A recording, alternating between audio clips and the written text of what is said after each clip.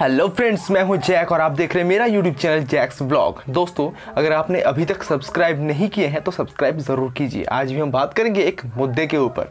दोस्तों social media एक बहुत ही बड़ा प्लेटफॉर्म बन चुका है। बहुत सालों से ये हम सबको पता है, लेकिन यहाँ पे अब से जस्टिस भी मिलने लगा है।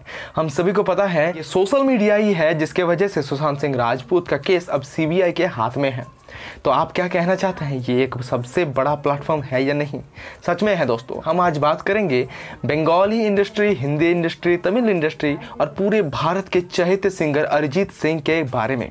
कुछ दिन पहले रिलीज़ हुआ है सड़क टू का म्यूज़िक एल्बम हम लोगों को पहले पता था कि पूजा भट्ट ने ट्वीट की थी कि अरिजीत सिंह का भी एक गाना होगा जिसका नाम है शुक्रिया जो एक कॉम्बो गाना है जिसमें अरिजीत सिंह के केसर और जुबिन नौटियाल तीनों एक साथ गाना गाने वाले हैं। बात जब आता है अरिजीत सिंह का तो फैंस पागल हो जाते हैं। सच में दोस्तों बहुत सारे फैंस इंतज़ार कर रहे थे अरिजीत सिंह के फिल्मी गाने के लिए।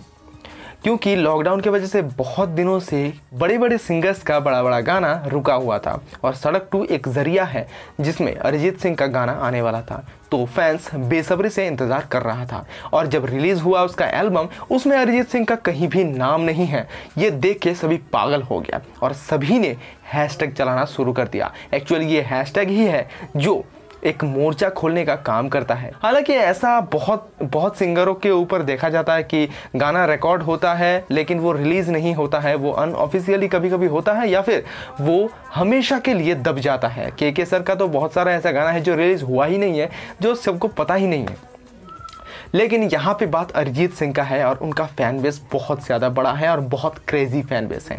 इसीलिए वो सभी मिलके इसके खिलाफ मोर्चा उठाया और अब मिला है सक्सेस दोस्तों, क्योंकि अरिजीत सिंह का गाना ऑफिशियली ना हो अनऑफिशियली भी रिलीज़ होने वाला है और उसका खबर मिला है हमें सोशल मीडिया से ही। हम आपको बता दें कि इस मोर्चे में हिस्सा लिए थे अमाल मलिक, यानी जो म्यूज़िक कंपोजर हैं, उन्होंने भी कहा था कि अरिजीत का गाना नॉर्मली रिलीज़ भी कर देना चाहिए। हालत बहुत ही ख़राब है। महेश भट्ट का नाम ऐसे ही कलंक हो चुका है। और म्यूज़िक लेवल से भी अब अगर उनका नाम खराब होता है तो कुछ बचेगा ही नहीं। इसीलिए शायद उन सभी ने मिलकर अरिजीत का गाना रिलीज़ करने का डिसीज़न लिया है। और ये फैंस के लिए सच में खुशखबरी है। सच में उनके लिए ये एक बड़ा जीत है।